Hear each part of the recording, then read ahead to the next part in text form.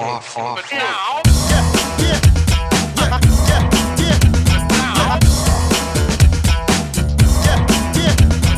percorso che è partito all'inizio dell'anno scolastico e che ha coinvolto, oltre che gli alunni, anche i docenti che si sono impegnati nella formazione nella, e, e, e, gli alunni più, più grandi diciamo, nell'alternanza scuola-lavoro. Tutta una serie di strumentazioni che sono ormai oggi strumenti fondamentali, indispensabili per la, per la didattica e che hanno dimostrato ancora una volta come i più giovani, quindi eh, anche i bambini delle scuole, delle scuole primarie, siano in grado di acquisire questa consapevolezza grazie a un percorso guidato da uh, persone esperte.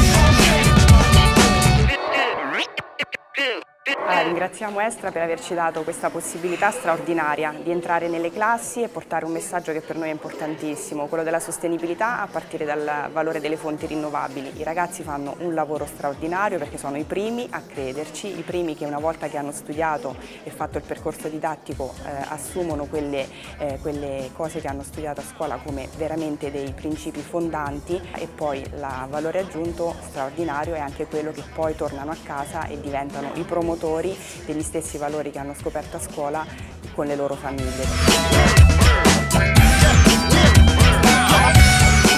Abbiamo un debito ambientale da risolvere e da risolvere mettendo al centro l'uomo, quindi l'ecologia e l'economia viaggiano insieme, studio della casa e gestione della casa per una soluzione umanizzata.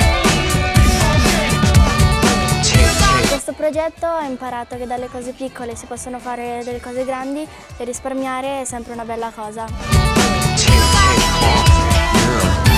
Abbiamo imparato che l'energia risparmiata serve per migliorare la nostra città dove viviamo.